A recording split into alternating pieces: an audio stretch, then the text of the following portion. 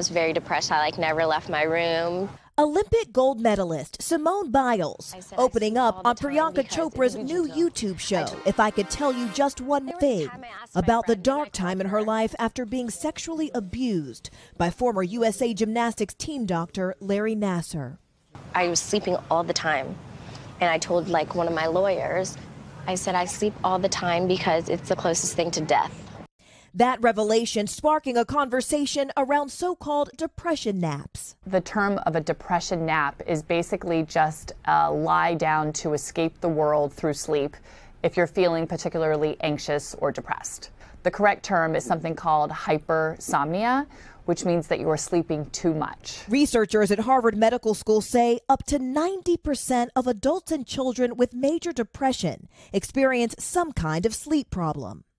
But if you find that the sleep during the day is also coupled with other symptoms like feeling hopeless or helpless or losing interest in doing activities that normally would make you happy, I would want you to seek attention for that.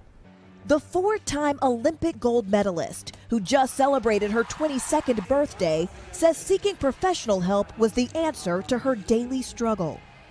Therapy is everything. Therapy today is so important and it needs to be more normalized. Biles also reveals why she was at first hesitant to come forward with her story. And I was like, no, I'm not willing to put that out there for the world to see. They're not going to see me as Simone the gymnast. They're going to see Simone as a sexual abuse survivor. And so I denied it.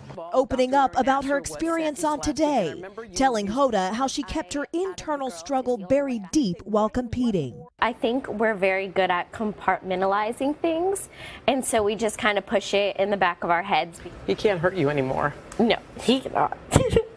Fresh off a gold medal win at the Stuttgart World Cup, Biles is now reflecting on her journey from that dark period in a more positive light.